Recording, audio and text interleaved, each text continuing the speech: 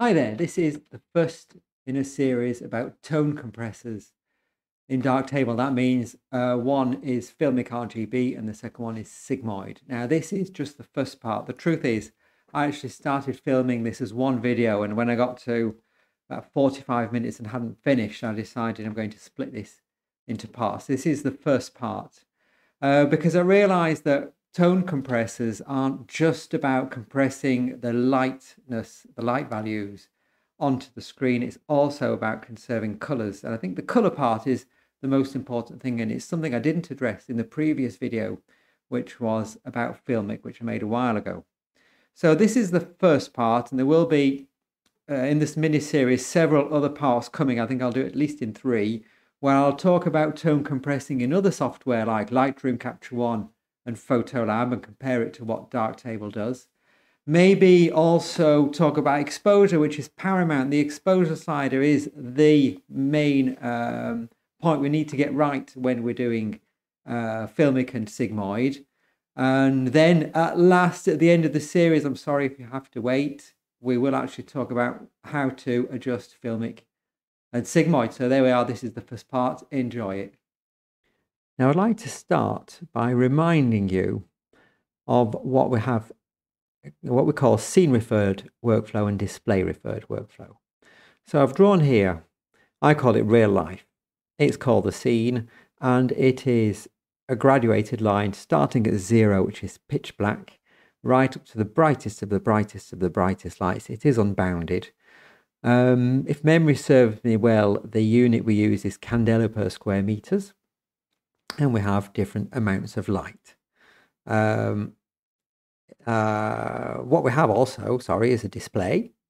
And the display is very bounded because we go from 0% black on the screen or on a print to 100%, which is the white.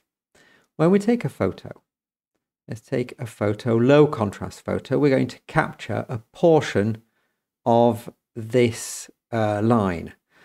Um, from this luminosity to this luminosity, this amplitude. I'm not going to say dynamic range because I think I remember dynamic range is not an amplitude but a ratio. Uh, don't quote me on that.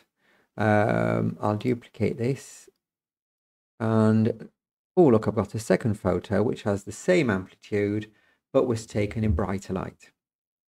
Now if we were realistic then this photo here, we could imagine that when we print it, well, we get something very black. Well, not very interesting. We get an entirely black photo because it was taken in a dark room. And if I have a bright summer's day, maybe I want to print a photo of a very bright light and just get white or partially white. Be fun.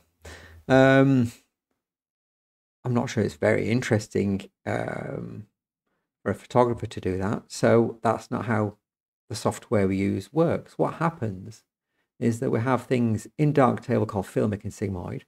In all the other software, it's called, well, I don't know what because it's a secret, but there is something that does that, which will map out the values. I'm going to put them here and here, but they could be from black to white. Um, well, that will de depend on the user, what uh, the user of the software wants to do. So in reality, there's no difference in display between a dark photo and a bright photo. If you look here, this is a dark photo taken on, yes, it was summer, it was raining, it was dark, it was grey, it was dreadful.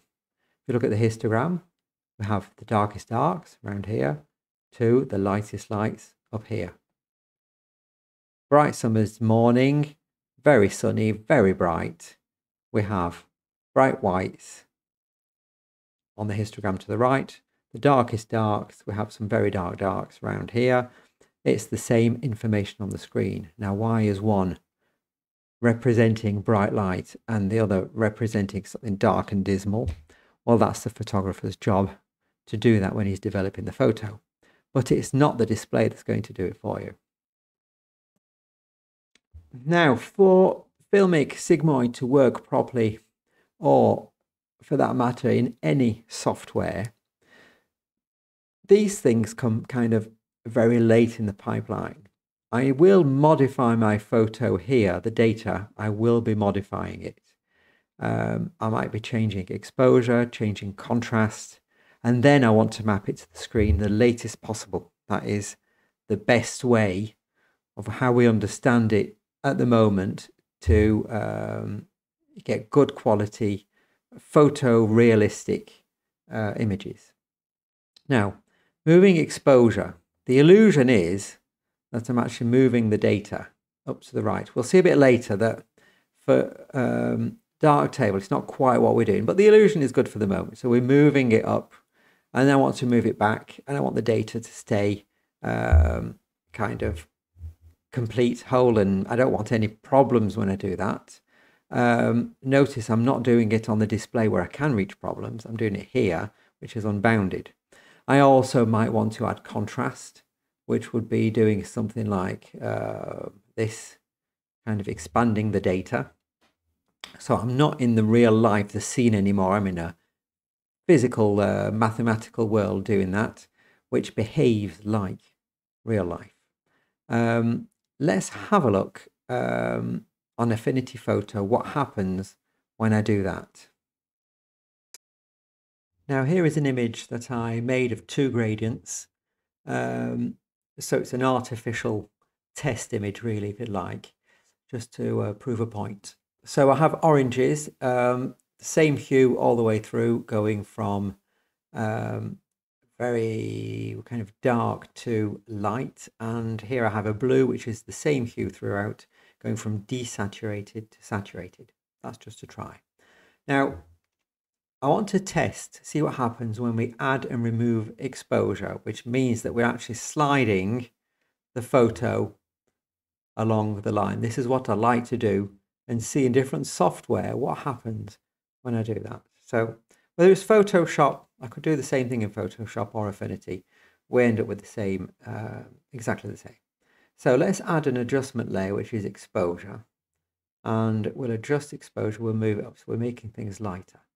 Now I can go to bright white if I like. That's not what, I want to do. But something strange is happening because when I'm moving up, my orange has become yellow.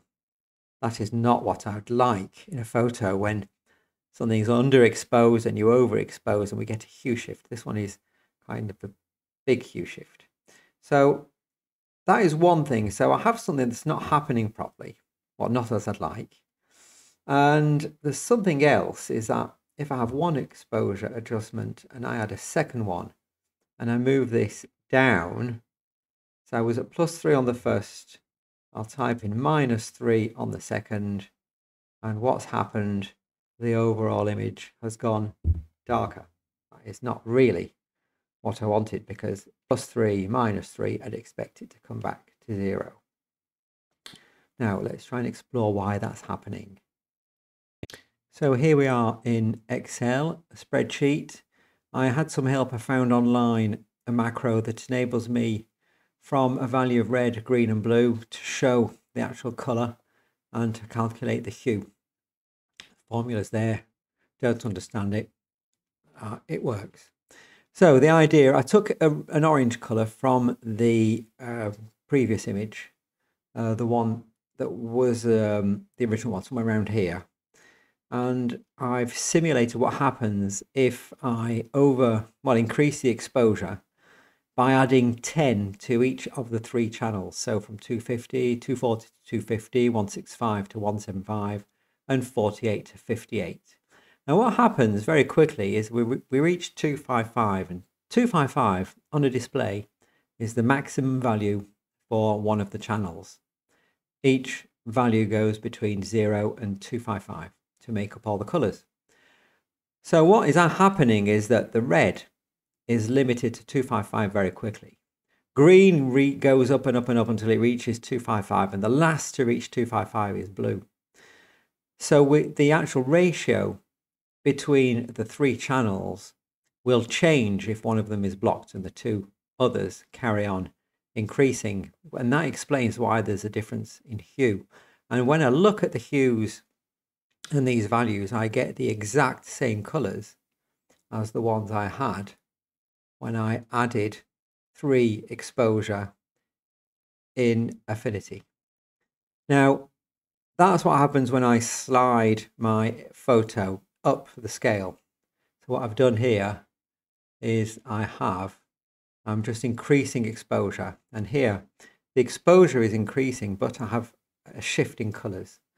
And what's even worse is that when I shift downwards again, so what happened is I took one of these hues, 255, 255, 208, which I found here, plugged it into this column and just started shifting everything downwards by 10.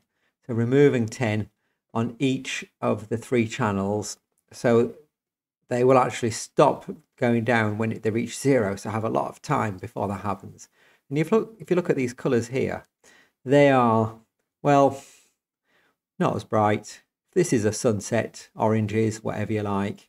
If I'm moving the exposure downwards, then look at what I get. You go into the browns, the murky greens, not very pleasant. And the hue is 60. Now let's check the theory. This is a test I did. And if I go to the original image, go on the color picker, let's pick a color and let's go to color. Yeah, color. So hue here, 37, and I can click, I go in the blues, 251, but I'm at 37 all over the place. When I increase the exposure and I click again, look, I'm at 60 everywhere. Um, so what I showed you in Excel seems to be what is happening. And if I kind of get something in between, I'm at 37. If we keep, keep eye on this number here, 37, and as I go up the scale, 41, 44, 47, 49, etc., etc., we do have a hue shift, which is predicted by what I the table I showed you in the spreadsheet. So what is happening really is that the photo isn't here, the photo is here. Affinity and Photoshop, same thing in Photoshop. I'm here, when I increase, I reach 100, everything that's over 100 is clipped, and when I move, so the colors shift. So I'm not only losing luminosity and details, I am losing um, color information. And when I move down again, well, what has vanished um, doesn't come back and the colors have changed. So well, the temporary conclusion to that is editing photos in Photoshop Affinity in these pixel based editors, they are all display referred and not the best then, not the best. So this is the end of the first part of the series and I hope that I've managed to convince you all that the we need to have um, a tone compressor that can not only conserve luminosity but can also that can conserve colors. Um, next time we'll have a look at what commercial software do, how they handle it, uh, namely Lightroom, Capture One, and DxO Photo Lab, and we'll be going back to Darktable to see how Darktable manages that. Okay, we can see you soon.